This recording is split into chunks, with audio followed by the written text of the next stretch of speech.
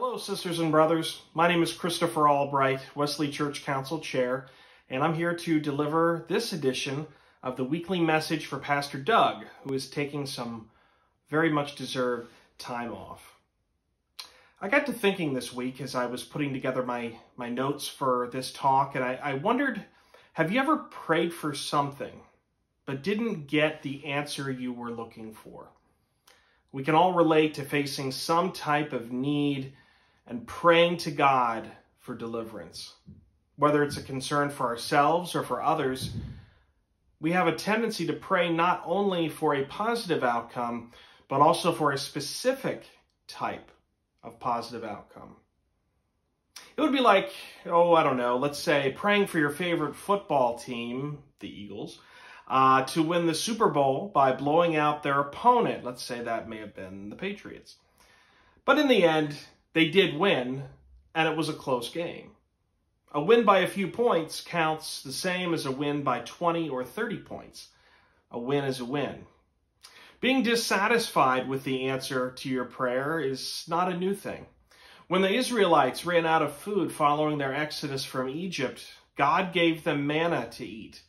But after a while, they grew dissatisfied with that, complaining that they wanted something else besides the food that had kept them alive during their time in the wilderness.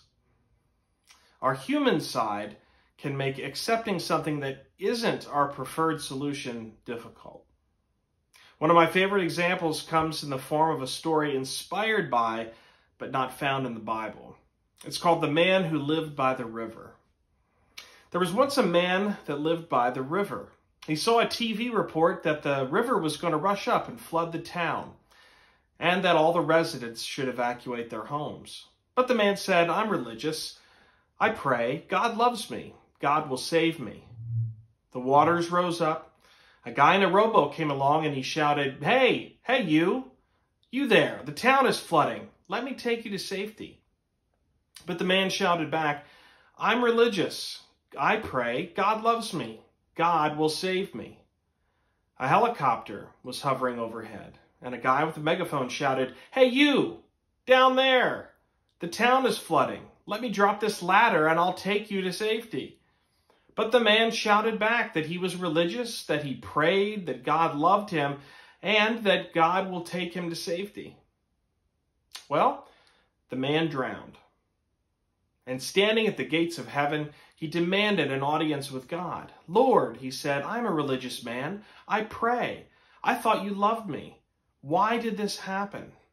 God said, I sent you a TV news report, a helicopter, and a guy in a rowboat. What are you doing here? Sometimes the solution we seek comes from an unlikely source or doesn't help us exactly the way that we envisioned, but we still, all the same, must trust in those things that God provides. Dear Lord, help us to see that your way is always the best way. Your solutions are always better than anything that we could come up with on our own.